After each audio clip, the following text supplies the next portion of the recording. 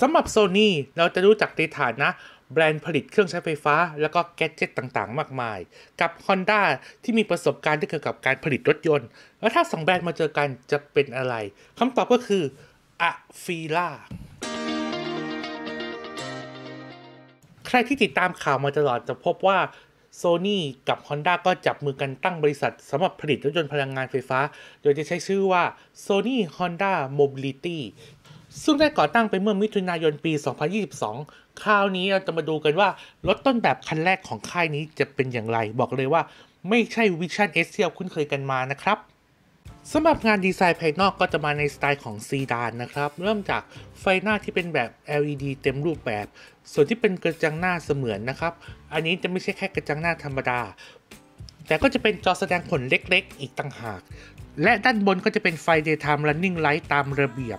ส่วนการชนหน้าก็จะมีการปรับดีไซน์ให้เข้ากับรถยนต์ในยุคปัจจุบันอีกนิดนึง ถ้าใครสังเกตว่ามันจะมีก้อนอยู่ก้อนหนึ่งตรงกระจกหน้า หลายคนงงว่ามันคืออะไร อันนี้เดี๋ยวค่อยเล่าให้ฟังทีหนึ่งส่วนด้านข้างนะครับก็จะมีแนวกระจกที่บานใหญ่มากและแถมมีถึง 6 บานอีกด้วย พร้อมกับเส้นสายที่ดูคลีนคลีนแล้วก็จะมีการสวมด้วยล้อขนาด 21 นิ้ว ส่วนกระจกมองข้างก็ถูกแทนที่ด้วยกล้องด้านข้าง เหมือนกับ EV ในยุคสมัยนี้ ส่วนมือจับประตูก็ทำเป็นแบบซ่อนรูปคำถามก็คือว่า แล้วจะเข้าออกรถได้ยังไงมาคุยกันนะครับ เพราะว่าผมก็ไม่แน่ใจเหมือนกัน ถ้าให้ผมเราน่าจะมีการซ่อนมือจับประตูไว้ในแนวกระจกเหมือนกับรถหลายค่ายอีกต่างหากอันนี้ผมไม่รู้จริง ๆ ต้องขออภัยด้วยนะครับ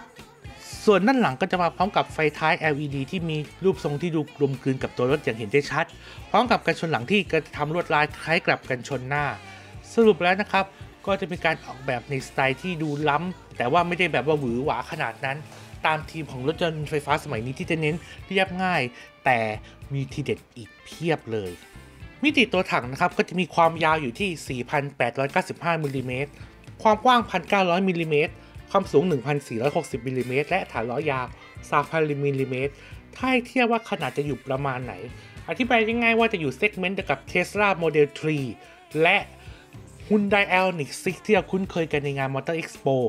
แต่ถ้าให้ว่ากันตามตรงแล้วมันก็คือพิกัดประมาณ D segment ขึ้นไปแต่ยังไม่ถึงขนาด E segment ประมาณ Toyota Avalon หรือ Chevrolet Lumina ที่คุ้นเคยกันในอดีต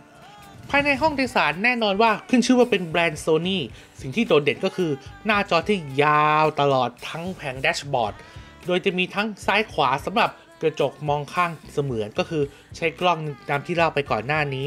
แล้วก็จะมีมาตรวัดแล้วก็ชุดเครื่องเสียง แล้วก็ระบบควบคุม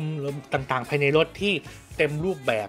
นอกจากนี้กระจกมองหลังสังเกตดีๆว่าก็จะมาเป็นแบบดิจิตอลเหมือนกับ Nissan Terraนิสสันคิกส์แล้วก็รถหลาย ๆ รุ่นที่ราคาแพงกว่านี้ ส่วนไฟอ่านแผนที่ก็จะมีขนาดเล็กกระทัดรัด พร้อมกับแผงบังแดดที่ยังคงเป็นแบบมาตรฐานอยู่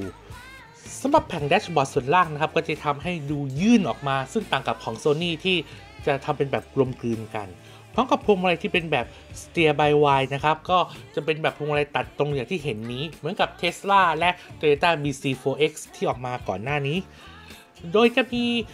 พร้อมกับยัดคันเกียร์ไว้ที่คอพวงมาลัยเพื่อเพิ่มพื้นที่ อีกทั้งเบาะนั่งก็จะมีการปรับรูปทรงให้โอบกระชับยิ่งขึ้น แต่ว่านั่งจริงเป็นยังไงอันนี้ก็ไม่รู้เหมือนกันนะ พร้อมกับที่พักแขนนะครับก็จะปรับให้มีดีไซน์ที่ดูเรียบง่ายกว่าเดิม จากเดิมนะครับก็จะมีการทำลวดลายเพื่อให้มีความแปลกตา นอกจากนี้ใครที่ไม่ชอบการแตะจอสัมผัสก็ยังมีสวิตช์สำหรับหมุนควบคุมอยู่บริเวณที่พักแขนอีกเช่นกัน โดยจะมีปุ่มควบคุมสำหรับจอด้านบนที่มาเป็นแผงโดยเฉพาะ เรียกได้ว่าใครถนัดกด หรือว่าใครถนัดจิ้มจอก็สามารถเลือกควบคุมกันได้เลยนะครับ ส่วนเบาะหลังนะครับก็จะมาเป็นแบบยาวต่อเนื่องกันเลย ไม่มีที่พักแขนแบบตายตัว แต่สังเกตดีๆว่าทำไมไม่มีหมอนรองศีรษะแถวที่ 3 อันนี้ก็ยังคงเป็นปริศนาอยู่ และก็จะมีจอด้านหลังที่แยกออกมาต่างหากสำหรับควบคุมแบบตัวใครตัวมันพร้อมกับไฟ ambient light สร้างบรรยากาศและกระเป๋าใส่ของที่ไม่เคยตัดออกไปไหน และเพื่อความโปร่งโล่งถึงขีดสุดก็จะมีกระจกแบบ panoramic moonroof มาให้อีกด้วย สรุปแล้วนะครับ ใครที่ชอบมองท้องฟ้าแล้วก็ ชอบในบรรยากาศที่ดูโล่งๆคันนี้น่าจะเอาอยู่เหมือนกันนะ และมาถึงตามที่สัญญากันว่าไอ้ก้อนตรงนี้มันคืออะไร มันก็คือส่วนหนึ่งของระบบการขับขี่แบบกึ่งอัตโนมัติ Autonomous Drive ที่แน่นอนว่าก็จะเป็นแบบ2 plus ถ้าให้เป็นเวอร์ชัน3 นั้นสามารถอัปเกรดได้ แต่ณเวลานี้ยังคงไม่เสถียรพอดังนั้นเอา 2.5 ไปก่อนนะกัน ส่วนการประมวลผลนั้นก็จะใช้ชิปของ Snapdragon ถึง 2 จุด รองรับกราฟิกเสมือนจริง AR แล้วก็มีกล้องรอบคันถึง 45 ตัวไม่ใช่แบบว่าอ๋อแค่ด้านหน้าอย่างเดียวนะ ทั้งภายนอกและภายในให้มาครบเลยทีเดียวสำหรับใครที่อยากรู้ว่างานวิศวกรรมเป็นอย่างไรต้องบอกกันก่อนว่า